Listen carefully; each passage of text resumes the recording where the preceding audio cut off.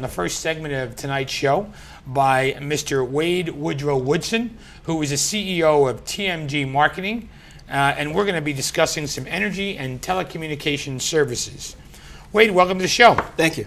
Now, marketing and distribution of energy and telecommunication and business development domestically and internationally. You've got 10,000 representatives, re- revenue. How'd you get going? well, you know, um, I'm just really a product of the uh, actually the training system.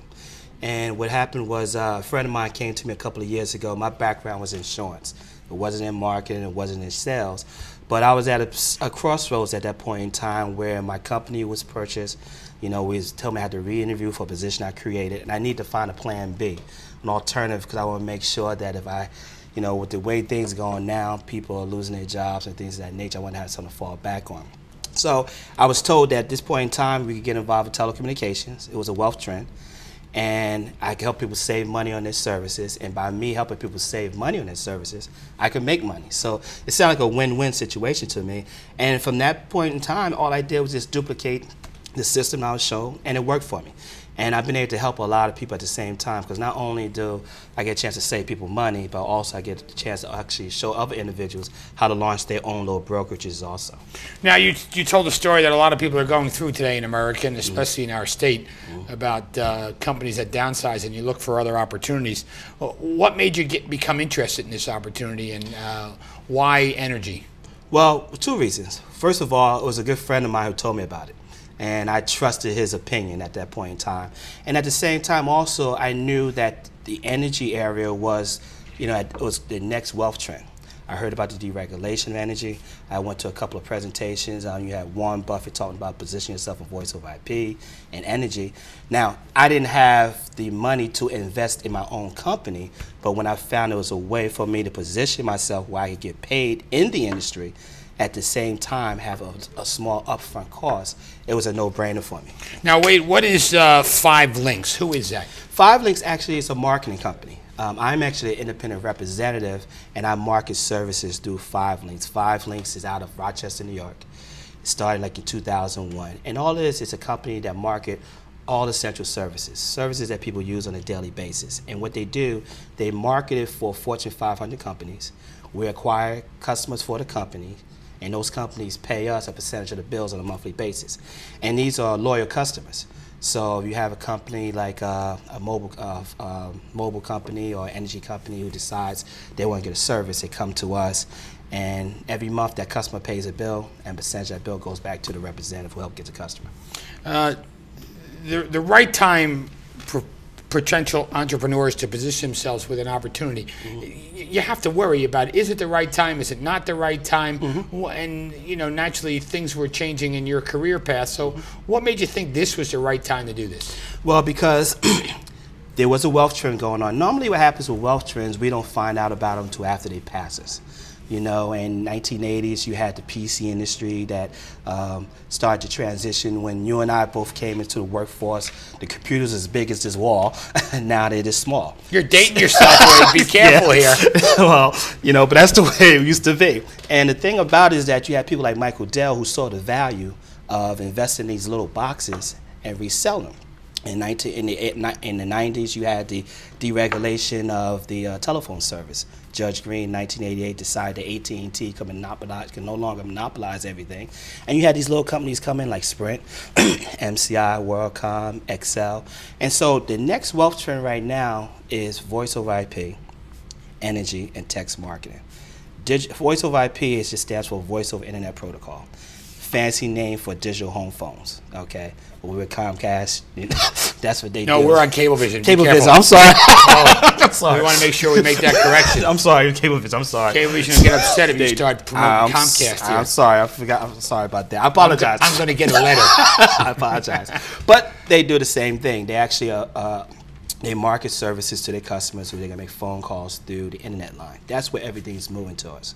So that's why this is the right time because the industry is young enough that an average person like myself or anyone else, some, some of your um, constituents, they could get involved and help grow the industry and make money at the same time to help them out on the revenue side. Now we talked about 5LINX. Uh, what is Global Links? Global Links actually is a phone service, phone company that's owned by 5LINX. That's their own personal voice of IP company, highly rated. And what they do, they save money, they cut people's bills in half because it's, it's digital home services. And they do everything from DTA boxes, which is just a standard modem, to applications. And so that's just 5LINX's own own company of the own phone service that they own. And Global Links, they, they reach out to customers only in New Jersey, or are they throughout the region, or the state, or Uh, national? International. International. Uh, international. North America, Canada. I have customers in Canada. I have customers in, in Nigeria. I haven't been to Nigeria in a while, but have a thousand customers there. Uh, in the uh, Latin markets, Asian markets. Because what it is is that with the voice over IP services, is unlimited local long distance service, and it's ch- it's cheaper than making a regular phone through, call through a landline. It's like sending an email. So as a result, you have a lot of international markets who are taking advantage of it because they could call outside the country at a discounted price. Okay. And Wade, you've talked about some of the essential services that you market. Can you go through them, uh, what the essential services are Sure. that you market? Uh, that's the beautiful thing about the company itself. We market services people are going to use anyway. So we don't change any buying habits. We don't ask them to buy anything they wouldn't buy any other time. All we do is show them how to shift the dollars. What I do is that I'll take a representative, a person who's looking for an opportunity, and I'll show them how to acquire customers. And all they'll do is show somebody how to shift the dollars through them versus paying directly who they're paying. So we have mobile services. So you have your own mobile company, uh, cell phone company. Every 24 months, you, friends of yours, going to do one of three things. Either they're going to add a phone, they're going to change the carrier, or they're going to extend their contract. Well, that Well, goes on all the time. all the time. Everybody's houses. somewhere. Exactly. So, so my business partners, they all have websites where all their friends and family members could do that right through them, and they have all the major carriers. We have security service, internet service, satellite TV, uh, uh, identity, uh, 5LINX Identity Guard, text marketing, merchant services. We even have our own little tablets. Okay, so everything that people will use, in addition to electric and gas, which is deregulated now, every bill that someone would pay in their house right now, they have ability to pay themselves, get a kickback on their bill, and then the best thing about it is that not only do they save money, but they have the ability to help other people save money also. And by telling people how they can save money, they make money. Can other people get involved in this? Absolutely, absolutely. All they have to do is um, get in contact with me. I, my, um, I give you my phone number and email. My phone number is uh, 908-531-1130. Or they can email me to my name. It's very easy. Wade, W-A-D-E, Woodson, W-O-O-D-S-O-N, at yahoo.com. And I can tell them how to get more information about the company. We're looking to expand right now. We're trying to identify some key leaders in this area from all diverse markets that could take advantage of this opportunity. It's a very diverse opportunity. The money is green, so it's available to anybody. Who So how do you get compensated? The more customers you sign up, the, it, it- it's Well, you get compensated. We have like 11 different ways that you can get paid. We get paid, the biggest way is residually, which basically means that you get a customer one time and you get paid month after month after month, year after year for a lifetime of the customer. One thing is great about it, uh, if you're a representative with the company and you acquire customers, your, comp- your customers can never pay off the bills. They don't pay off the bills. You have a you have a, a electric and gas bill you pay every month. You have a phone bill you pay every month. So if I was to uh, give you the opportunity to save money on your electric and gas bill, all I gotta do is ask you one time. Then every month you're gonna pay your bill. And that's the residual thing. That's a great thing about it. The customer, I don't have to go back to you again and ask you to get energy again. you already have the service. So what happens is the, uh, the representatives get paid residually month after month. And we have other type of bonuses they could get paid, weekly bonuses, compensation bonuses. We have a lot of, lot of awards they give. So it's, there's 11 different ways they get paid, but the residual one is important because the residual income means that you could go to sleep and earn money. Most people are involved in a linear income environment where they exchange their time for money. What we do, we do something one time and you get paid for the rest of life on it. So it's a great deal. Wade, I want to thank you for taking the time to join us on the show this evening. Hey, the pleasure's and mine. explaining uh, some of these uh, carriers that are out there and what people expect, because there's a lot of marketing going on in this. Absolutely, absolutely. And, and uh, a lot of folks don't even understand how the process works. I think you did it pretty well in explaining that. Well, all I, like I said, once again, I give my number is 908-531-1130. That's my phone number directly. And you can email me at wadewoodson at yahoo.com, and I'd be more than happy to answer any questions you may have. Thank you very right. much. Thank you. Appreciate it. Appreciate it. For Wade Woodson, I'm Chris Bollwage. Please stay with us after these messages. We'll be back with Stanley Neron of the Office of Youth Services talking about youth issues going forward. Welcome back to our city. I'm pleased to be joined in the second half of the show by Stanley Neron, who is our coordinator of youth services here in the city of Elizabeth and does a great job in making sure the youth have some activities not only all winter long but also moving into the summer. Stanley, welcome back. Thank you for having me. Good to be back. It's been a while since you and I did it. It's been a while. You've yeah. been on with Alonzo, though, right? Yes. Or AJ, as you call him. AJ. Or Hamburger. Hamburger, right? Hamburger. I know him as Hamburger. Do you ever go on YouTube and look up Hamburger? Plenty times. Plenty yeah, times, we've yeah. We've seen hamburger. Yeah, we gotta, we gotta. Maybe we should do a show someday of just hamburger clips on YouTube. The best of hamburger. Yeah, the right? best of We can- hamburger. We can yeah. do that. So what else has been going on with you? Well, we're staying busy. You know, as always, we have the youth enrichment programs that we've been working on. Uh, we have a new addition this year where we started the SAT programs, and that's actually it's actually in the second year, so that's doing pretty well. Um, Tell us about that SAT program. Well, the SAT program is a enrichment program for high school seniors and uh, high school students rather from ages 14 through 18 who are interested in going to college. So what we do is we give them preparation courses for the SAT program. We actually test them when they come to us. We have a, a test that our um, instructors give them where we test them to see where they're at with the SATs and their aptitude tests. And uh, the results have shown that they improve two to 300 points um, after they've taken our course. And it's held at the library um, twice a week um, for about 10 weeks. And we do two sessions um, throughout the year. And the SATs, uh, when they improve, they have better shot at getting into different universities or colleges. Totally. Um, they definitely have a better chance of, of getting into, uh, you know, an, an institution of higher education. Um, we also prepare them to understand the, you know, how they can get money to go to college. Because, you know, one of the things, if you score very well, you have chances of getting scholarships as well as getting good grades in, in high school. But we also um, do workshops on how to get scholarships and how to apply for financial aid. So it kind of prepares them for the next How many level. participants do we have for this, Stanley? um, approximately every year we do about 60 participants. Right. How do they know about it? Uh, we, through the library, through our network we're Building Future Leaders, our, our youth services program on the city website, and we also communicate with the counselors and, and principals at the different high schools here in the city. And do they have to sign up? They have to sign up. It's free to all City of Elizabeth residents um, if they go to a, an Elizabeth high school um, and they're a resident of the city. So they don't necessarily have to go to high school in Elizabeth. They just have to be a resident. to of the be all right. So if they sign up, uh, what do they, what do you do then? Call them and say the first session is such and such a day. Once they register, they go through an application process, which is just basically getting their basic information. We then um, give them a call, let them know when the first workshop starts, and we usually kick the workshop off with a Show Me the Money workshop. And the Show Me the Money workshop is all about how you can get the scholarships.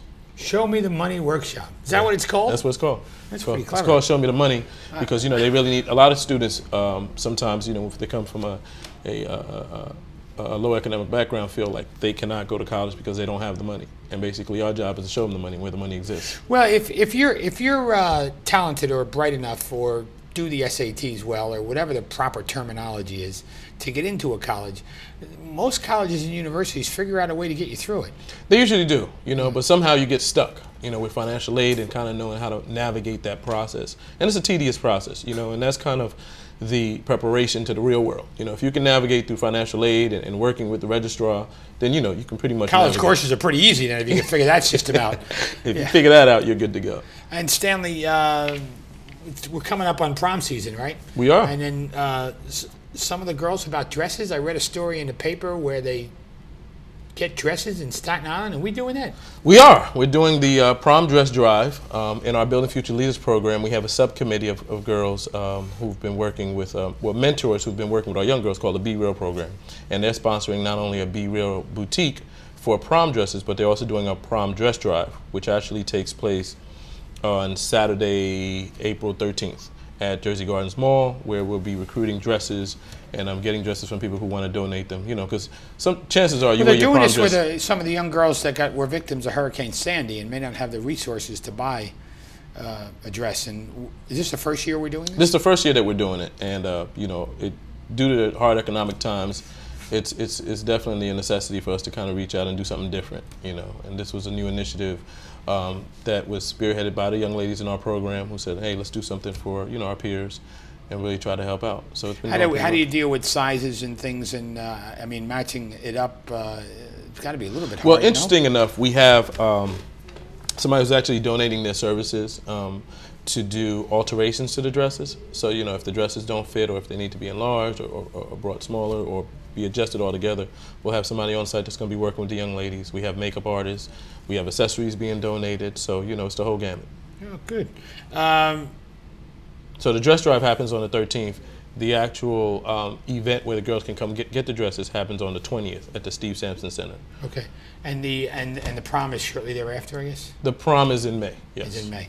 The, the, as you know, the weather's changing and summer's quickly approaching, and summer youth is always difficult. Matter of fact, now that I have you, there's a conference call with the president coming up on Thursday, I think, that I'd like you to be part of, and they're talking about summer youth opportunities. Great. So, uh, what, what type of summer employment is out there for the youth?